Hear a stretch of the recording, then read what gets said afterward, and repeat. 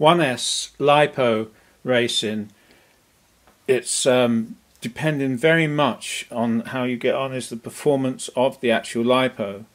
Uh, the, the voltage is very low, we're talking about 4 volts, and any variation under load that drops that voltage down, you're going to go slower than someone who's got a good battery. So, uh, how do you know how good your uh, battery is? Well, the latest uh, batch of 1S uh, uh, lipos here are 100C rating, 8000 milliamps. There's a 7800 milliamp hour. Also, uh, it's 100C. Um, here's an IP one 8000 100C. Also SHV, super high voltage. Well, we don't use the super high voltage um, charging, but even at normal uh, LiPo cutoff, 4.2 volts. Uh, is it going to be better than these? So, how to test? Well, I've shown how to test uh, 2S batteries uh, using um, a discharger which you can build yourself with resistors and measuring the uh, voltage while it's being discharged at high current and see which one holds up the voltage the best. Now this um, this discharger which I did a video on how to make it using uh, just resistors inside and using one of these little meters which shows you um, watts, amps, volts and you can uh, uh, measure the uh, voltage as it discharged and see which one holds up the best. Now with the 2S one for instance uh, if you wanted to say your motor 30.5 is drawing 3000 milliamp hours in the 5 minute race, this is 2S, that means it's drawn 3 amps if it was a 1 hour race. In the 5 minute race, there are 12 5 minutes in an hour, so 3 times 12, 36 amps average your car draws.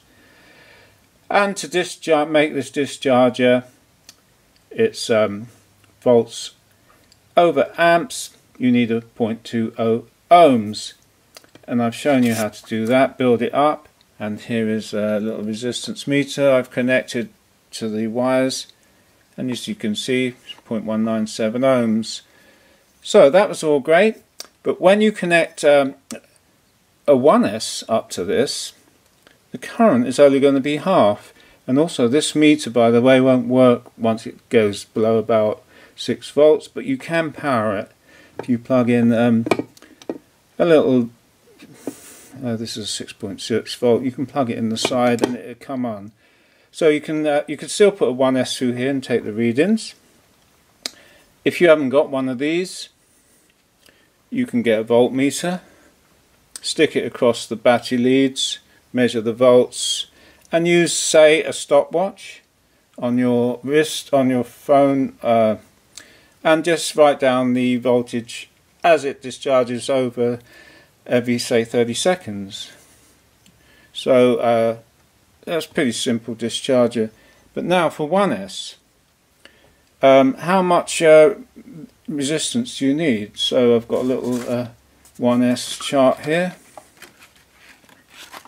Oops uh, again, a five minute race, say using uh, 3000 milliamps in five minutes, again, as I said, 36 amps.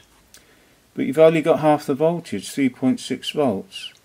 So 3.65 by 36.1 of an ohm, i.e., you need two of these in parallel or one of these that has got half the resistance. Instead of 0.2 of an ohm, you need 0.1 of an ohm.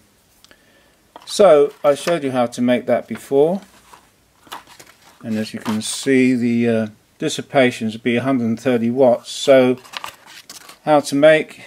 Yeah, I'm going to make up one for doing 1S uh, as I said you need 0.1 of an ohm.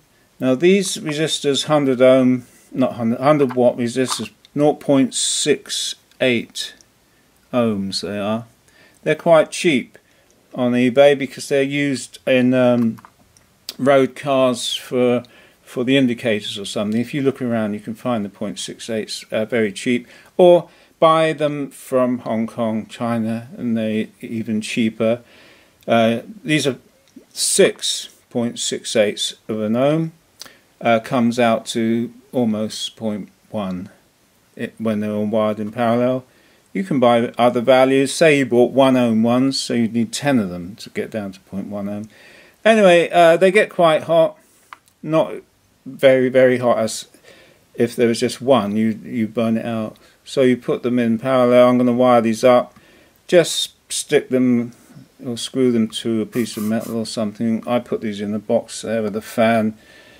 If you haven't got the fan, just um, screw it to a piece of metal so you don't burn yourself and they don't fall around. I'm going to wire these up and show you how it's done. Now, I could then uh, connect up this, or I can use a voltmeter and a stopwatch, and I'll show that as well. So once I've put this together, um, we'll uh, get these out, weigh them, measure them, and uh, and put them on test. Uh, one more thing I'll say about uh, three point, uh, single cells is um, charging them up. Under the rules, you're allowed to charge to 4.20 volts. A lot of chargers will do, most chargers these days will do 1S, but a lot of them struggle to actually get to 4.2. Uh, some shut off early, and some the um, the actual metering uh, is not dead accurate. So it's important that you find that your charger is actually charging to 4.20.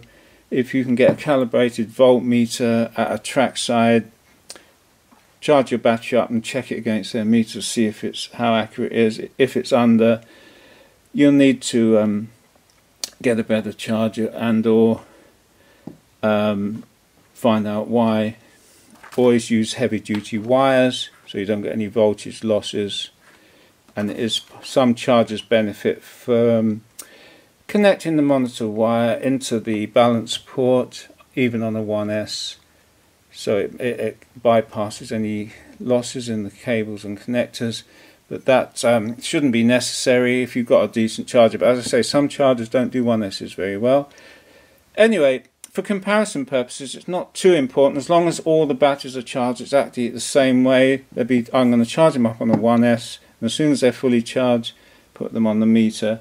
And as long as you do all three the same, if you're doing it at home with yours, make sure um, you'll get uh, accurate readings. So don't charge them up, go away and come back next day and discharge them. You should charge them up, discharge, uh, and put them on discharge immediately. Uh, every time so that you get the same readings. Anyway, I'm just going to wire this up and then carry on. I fixed the resistors to the metal plate uh, just by drilling some holes and using, um, I put a little bit of white uh, CPU heatsink compound just to uh, transfer the heat uh, just drilled the holes, uh, used some self-tapping uh, screws, these self-drilling screws which just came through and screwed into the edge of the resistor, so that was all easy. Uh, wired them together using some uh, 16 gauge solid copper wire. If you haven't got any of that, you can get some decent wire out of a bit of household twin and earth that they use for wiring up inside the walls of your house if you've got a bit. Anyway, it's just a solid, nice solid bit of copper. It's easier than using um, trying to solder up uh, this stranded wire because it gets all over the place, the strands. And then on the end, um, I've wired the plus and minus which would go off to your battery. Uh, if to keep it simple, you could just use um, the plus and minus uh, just like that. That plug into your battery and you can just plug it in.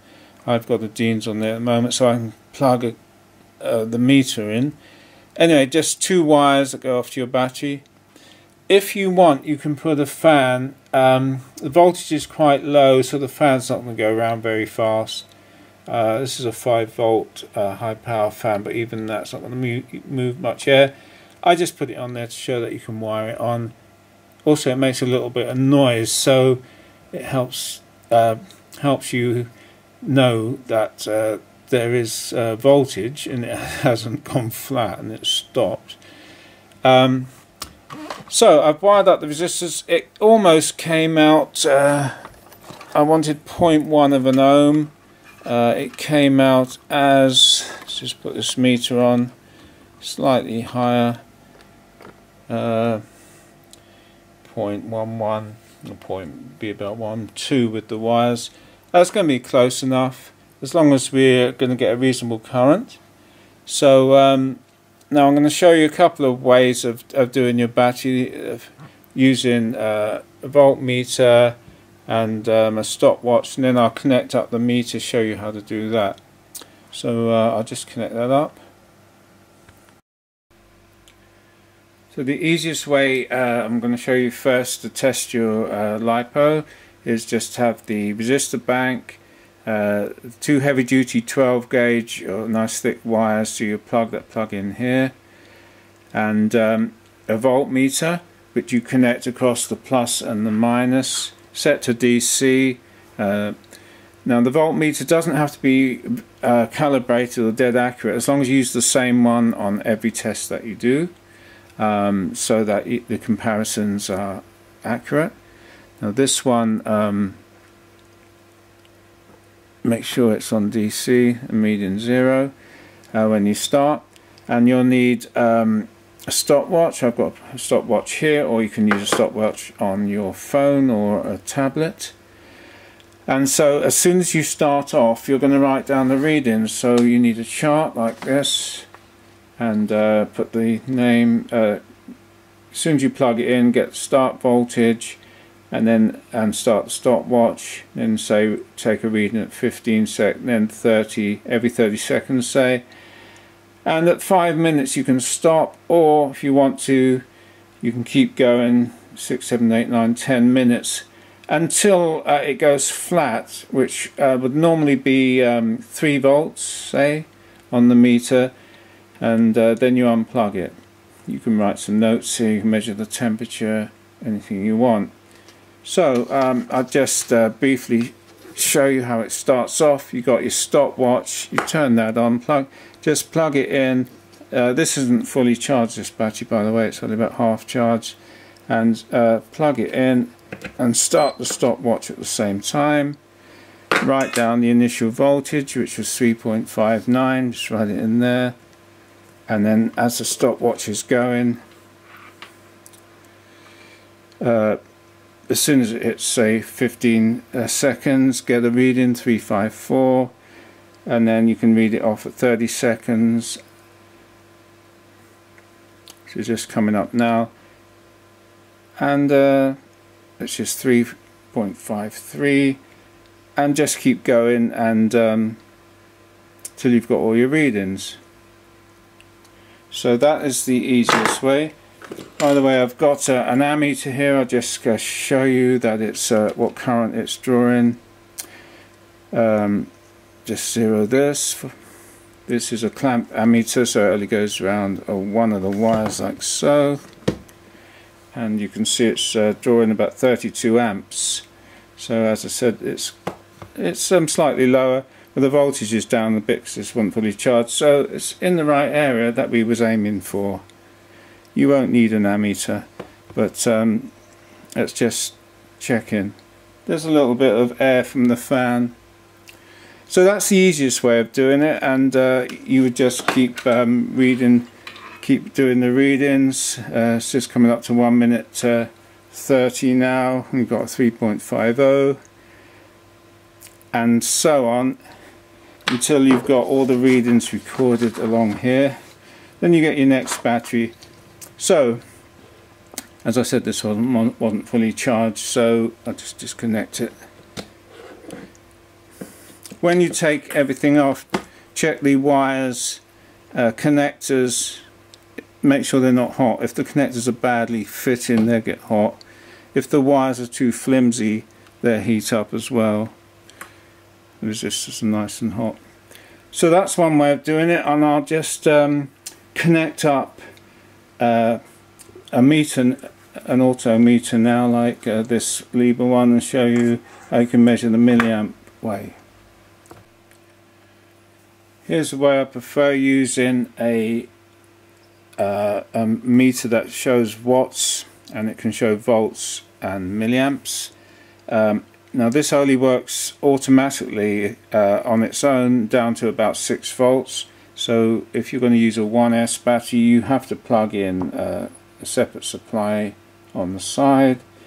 I've used this 6.6 um, volt transmitter battery. It doesn't uh, draw any current uh, hardly so you just plug it in the side of there. Um, now we're gonna as soon as you set this to the is what well I'll show you. There's a couple of readings you can measure various things on the side but you want the one that says watts. And as soon as you plug it in it's going to start reading. So I'll just uh, close it up for you. Um, this isn't fully charged as I said.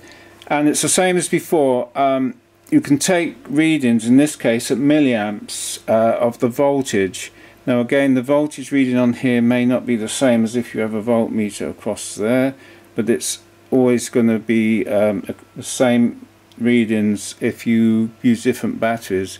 So um, it's only for comparison readings.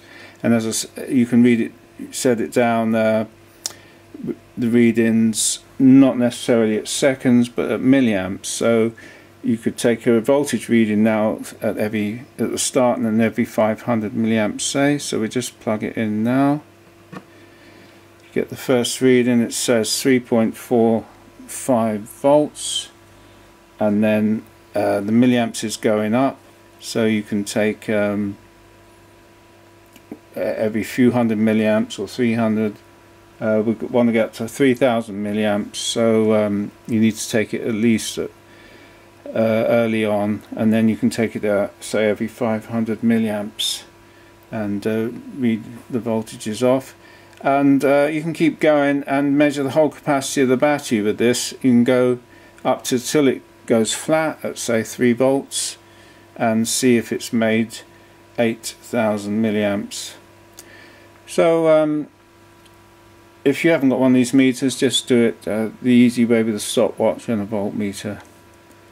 And then uh, I'm going to do a comparison test uh, in another video comparing uh, three batteries using this meter